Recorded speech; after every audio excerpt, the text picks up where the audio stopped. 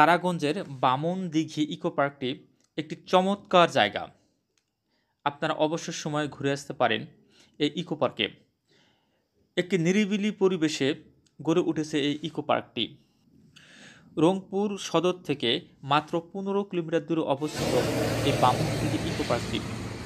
আপনি অটো অথবা বাসে চড়ে মাত্র বিশ টাকার ভাড়া দিয়ে যেতে পারবেন এই বামুনদিঘি ইকো পার্কের নিকটে।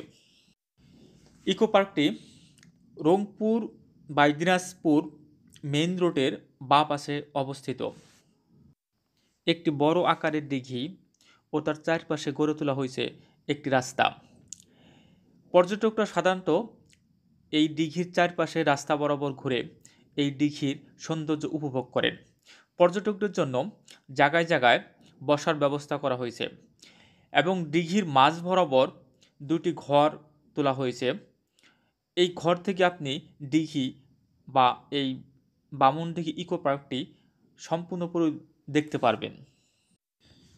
এই দিঘিতে নানান ধরনের মাছ চাষাবাদ করা হয়।